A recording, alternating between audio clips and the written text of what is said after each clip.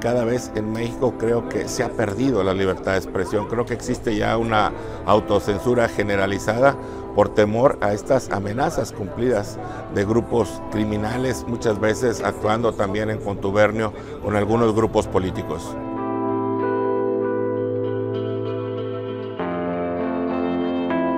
Bueno, en este momento nos sentimos eh, concernados, eh, nos sentimos eh, pues decepcionados, no nos deja de decepcionar el gobierno ¿no? en sus tres niveles, nos sentimos tristes, obviamente también enojados, este, porque nosotros seguimos, seguimos cada vez que asesinan a, un compañero, venimos aquí, vamos a otros lados a exigir garantías de seguridad para, para los demás compañeros y no se dan. Cada vez se mata con mayor facilidad a los periodistas y creo que esto es, digno ya de un análisis más profundo y de medidas eh, que puedan erradicar por lo menos los intentos, las amenazas que cada vez son más comunes e impunes.